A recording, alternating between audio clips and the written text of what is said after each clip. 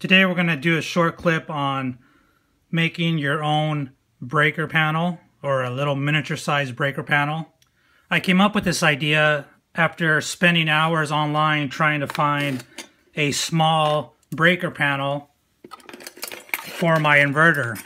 When you install an inverter and if you decide to do it hardwired in, if it has a hardwired option, some don't, but mine does, and I wanted it that way so I can run my own wire to my outlets in my van. It requires that you have a breaker in line to protect those outlets. You can't, or they recommend that you don't just plug into the existing GFI outlet on the inverter and run in, run that into a panel. That is not recommended. It can cause problems. I've had very good luck going to the marine world. Again, here, uh, a Blue Sea product, as you'll see in some of my videos, a lot of the stuff they make is very good and applies very well in our van applications because of the fact that this stuff is designed so that you could easily install it in tight quarters. As you see here, it's got easily accessible screws where you'll end up connecting your hot terminals. And you basically want to get a plastic box because you don't want the back of these touching a metal box making contact. And somehow we, we need to make it suspended in this area. A couple ways you can do that is you can take your own cover plate. Well, what you can do is you can drill your own hole.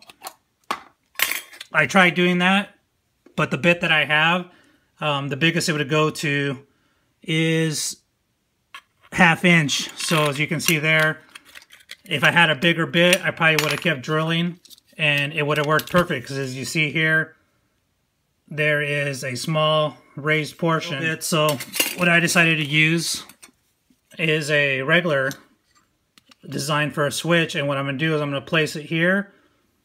I'm going to measure these holes where the Screws are going to go in and make my own holes and then we'll be good to go.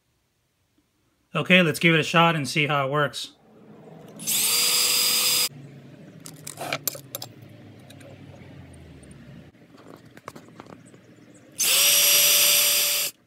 We drilled our holes, just measured out correctly. And as you see in here, they line up pretty good. And it'll work.